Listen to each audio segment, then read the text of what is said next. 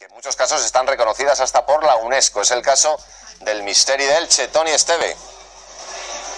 Así es, el Misteri de Elche es el único drama sacro del mundo que continúa representándose ininterrumpidamente desde la época medieval hasta nuestros días. Quizá la imagen más representativa de esta obra declarada Patrimonio Cultural Inmaterial por la UNESCO sea el de los pequeños cantores suspendidos a 25 metros suelo en el interior de esta Basílica de Santa María de Elche. La obra está dividida en dos partes, la Vespra que se ha representado esta tarde y la Festra que, que tendrá lugar mañana y en la que se simboliza la Asunción de la Virgen al cielo, acompañada de un coro de ángeles cantores.